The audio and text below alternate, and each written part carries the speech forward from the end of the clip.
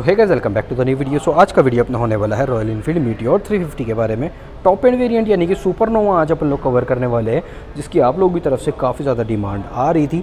ये है अपना Supernova windscreen plus chrome का यूज़ यहाँ पर आप लोगों को काफ़ी सारा मिल जाता है। टोटल तीन वेरियंट में बाइक अवेलेबल रहने वाली है। बेस हो जाता है फायरबॉल देन अपना स्टेलर आ जाता है। एंड टॉप ऑफ़ अपना हो जाता है सुपरनोवा जो कि आज अपने पास अवेलेबल हो चुका है। रेड एंड ब्लैक यानी कि ड्यूल टोन कलर ऑप्शन यहाँ पे आप लोगों को मिलेगा, जो कि कॉम्बिनेशन काफ़ी अच्छा बन जाता है। इंजन का सेटअप कंप्लीट ब्लैकआउट है। क्रोम जो है, काफ़ी नीट इसका सेटअप आप लोगों को फील होने वाला है। स्टार्ट करते हैं अपना वीडियो बाइक की प्राइसिंग के साथ। सो प्राइस रेंज वेरिएंट के अकॉर्डिंग और कलर्स के अकॉर्डिंग यहाँ पर आप लोगों को चेंज रहने वाली है।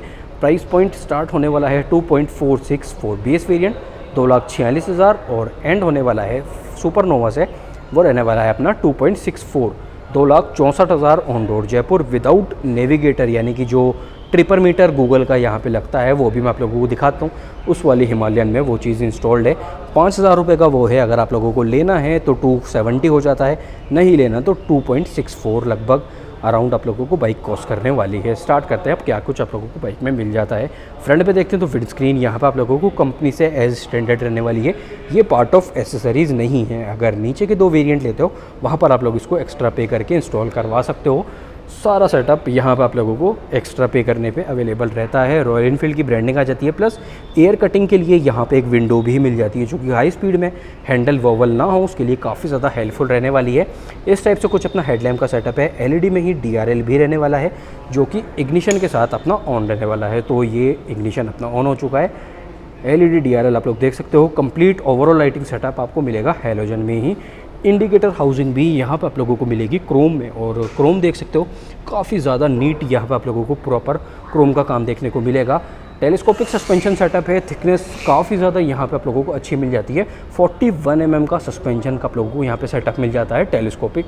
नंबर प्लेट का क्लैंप अपना यहाँ आ जाता है। ये अपना रिफ्लेक्टर जो कि मैंडेटरी वाला पार्ट है।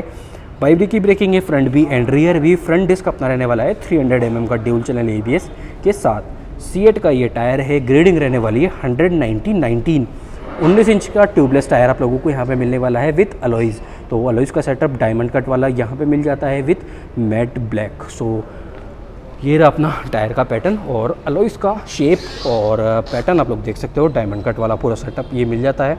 रिफ्लेक्टर यहाँ पर भी है. इस कलर ऑप्शन के साथ ग्लॉसी ब्लैक कलर टोन में ही आपका फ्रंट मडगार्ड है फाइबर में और साइज़ आप लोग देख सकते हो मडगार्ड एक्सटेंडर भी यहाँ पे मिलने वाला है। इस टाइप से कुछ राइडर्स पी ओ वी यहाँ पर बन जाता है। टैंक कैपेसिटी काफ़ी ज़्यादा अच्छी मिल जाती है। 15 लीटर टोटल 15 लीटर का फ्यूल टैंक कैपेसिटी है। ये रहा अपना फ्यूल कैप ये भी क्रोम में ही है। इस टाइप से रॉयल इनफील्ड का यहाँ पे एम्बलम आप लोगों को मिल जाता है। स्विचेस देख लेते हैं। तो ये three in one Royal Enfield since 1901 three in one Royal अपना high beam low beam plus pass ये आ जाता है। इंडिकेटर इस टाइप से सिंगल बजर में काफ़ी लाउड होने है। राइट साइड पे kill switch plus starter three in one एक स्विच यहाँ भी है। प्लस हज़ार्ड भी यहाँ पर आप लोगों को कंपनी से ही देखने को मिलने वाला है।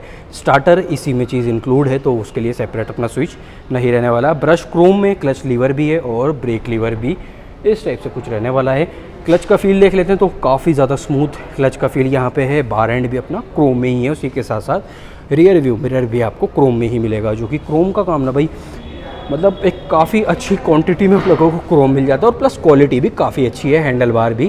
क्रोम में ही यहाँ पर आप लोगों को मिलने वाला है। इस टाइप से कुछ अपना की का सेटअप रहने वाला है। वेव की यहाँ पे मिल जाती है रॉयल इनफील्ड का जेल वाला लोगो मिल जाता है। कॉम्बिनेशन में एमआईडी सेटअप है analogue plus digital digital window यहाँ पे मिल जाती है। 160 तक स्पीडोमीटर में मार्किंग रहने वाली है। नीचे सारी वार्निंग लाइट्स आ जाती है रॉयल इनफील्ड की ब्रांडिंग है। आई बटन मिल जाता है, जिससे कि चेंजेस यहाँ पे होने वाले हैं। यह जाता है अपना odometer trip A trip B and trip F यही सारी इन्फॉर्मेशन यहाँ पर आप लोगों को मिल जाती है। उसी के साथ साथ गियर इंडिकेटर भी है क्लॉक भी है, ये जो ब्लिंक हो रहा है, ये है आपका फ्यूल गेज सो ये रहा अपना राइडर्स पीओवी सीट की बात करते हैं तो स्प्लिट में सीट है प्लस यहाँ पर आप लोगों को थोड़ा सा ब्राउनिश टेक्सचर देखने को मिलेगा, यानी कि कपड़े का जो कलर है फैब्रिक का जो एक पेंट स्कीम है, ये आप लोगों को ब्राउनिश टोन में देखने को मिलता है।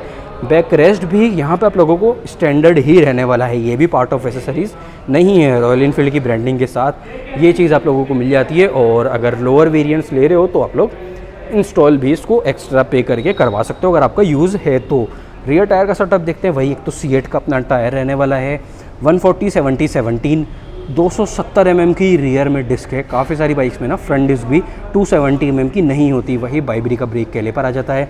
ड्यूल हाइड्रोलिक स्प्रिंग वाला सेटअप यहाँ पे अपने को सस्पेंशन का मिल जाता है एडजस्टमेंट के साथ। सो मल्टीपल वे एडजस्टमेंट इसको अप्रूव कर सकते हो। यहाँ पर भी क्रोम का यूज़ है रियर मडगार्ड ये अपना रहने वाला है मेटल में, जो कि काफ़ी अच्छी चीज़ है। मुझे लगता था ये फाइबर में होगा, जैसा कि हंटर में भी रहता है, पर ये अपने को मिट्योर में मेटल में प्रॉपर मिलने वाला है। एग्जॉस्ट पे देखते हैं तो हीट शील्ड भी अपना क्रोम में ही रहने वाला है और काफ़ी अच्छा क्रोम का हमेशा की तरह काम देखने को मिलेगा। रियर लुक ये रहा अपना टेल लैंप ऑन होने के बाद और हज़ार ऑन होने के बाद। टेल टाइडी फाइबर में आ जाता है और एलईडी में अपना नंबर प्लेट का बल्ब रहने वाला है। ये रहा अपना रियर लुक बाइक का। काफ़ी ज़्यादा प्रॉमिसिंग लुक यहाँ पर आप लोगों को मिलेगा। Sari guard with ladies foot rest मिल जाता है side stand and centre stand दोनों मिल जाता है। ड्यूल हेड में आपका गियर लीवर है इस टाइप से इंजन का। टेक्सचर अपोजिट साइड से मीडियम मिट्योर 353 आप लोगों को साइड पैनल पे पूरा स्टिकरिंग का काम देखने को मिलेगा। और ये रहा अपना इंजन का टेक्सचर अपोजिट साइड से। इंजन स्पेसिफिकेशंस की बात कर लेते हैं तो 349 सीसी का एयर कूल्ड इंजन आप लोगों को मिल जाता है फाइव स्पीड बॉक्स के साथ। वहाँ पर आप लोग देख सकते हो जी ए वन थ्री पूरी मार्किंग भी मिल जाती है। और काफ़ी अच्छा एक ना फिंस वाला पार्ट भी यहाँ पर आप लोगों को देखने को मिलेगा, जैसा कि डायमंड कट वाला सेटअप अलोइस पे था, उसी टाइप का कुछ ये अपना बैंड पाइप आ जाता है। पावर की बात कर लेते हैं तो 20.2 पॉइंट का पीक पावर है 27 सेवन एन का आप लोगों को यहाँ पे टोर्क करने वाला है। बाइक का जो टोटल वेट है, वो है 191 केजी तो ये है अपना बाइक का total weight fuel tank capacity काफ़ी अच्छी 15 लीटर यहाँ पर आप लोगों को बन जाती है। सीट की बात अपन लोगों ने करी ली, जो राइडर का कर्व है, वो काफ़ी ज़्यादा कंफर्टेबल राइडिंग पोजीशन आपकी बना देता है। सीट हाइट भी ज़्यादा नहीं होने वाली 765 सिक्सटी mm की टोटल अपनी सीट हाइट है। ग्राउंड क्लियरेंस टोटल बाइक करने वाला है 170 सेवेंटी mm का।